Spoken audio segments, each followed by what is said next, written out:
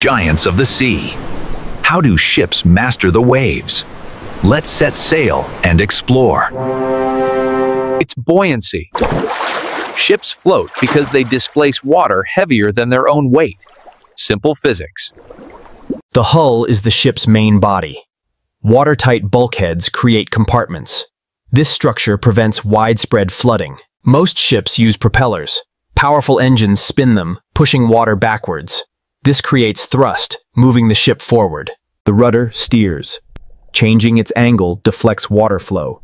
This turns the ship left or right. Ships use sails, water jets, or propellers. Different designs for different speeds. Each propels uniquely. Navigation is crucial.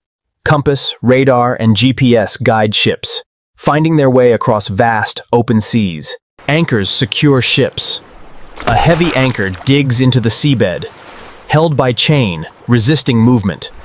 Many ship types exist. Cargo, passenger, fishing, naval. Each designed for unique roles. Different designs, different missions. Stability is vital. Low center of gravity keeps ships upright, resisting waves and wind.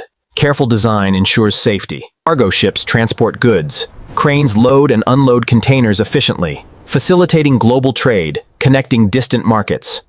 Passenger ships offer comfort, cabins, dining, entertainment, making long voyages across the A dedicated crew maintains ships. They navigate, manage engines, ensure safety, keeping the vessel in top condition. Essential teamwork. Modern shipbuilding focuses on sustainability. Designs reduce emissions, minimize impact. From buoyancy to advanced engineering, ships are wonders, mastering the deep. Like, share, subscribe for more amazing explanations.